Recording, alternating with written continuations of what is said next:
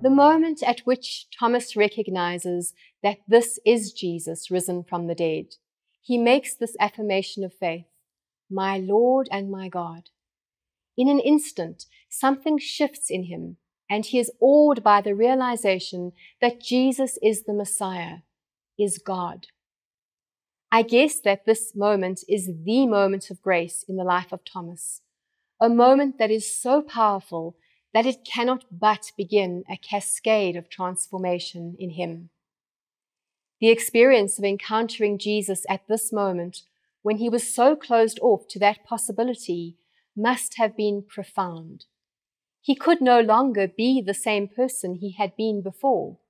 Something in him was softened and opened. Can you identify moments in your life that have changed how you have seen or understood things? Experiences, or relationships which have opened you up to something to which you were previously closed. Particularly as we get older, there can be sometimes the temptation to become set in the way that we see things. We can limit God's power and grace because we are afraid of being disappointed.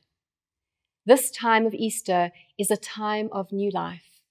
We celebrate the resurrection of Jesus, but we also celebrate what God desires to bring to life in us. Any encounter with the risen Christ liberates, heals, and opens up new possibilities and ways of engaging with life. What has died in us, perhaps our hope, our faith, our ability to love wholeheartedly, can be resurrected, allowing us to experience with Jesus the joy of his new life. Let's consider where have I become stubborn or narrow in my thinking? And what in me needs to be resurrected so that I can recognize and share the joy of the risen Christ?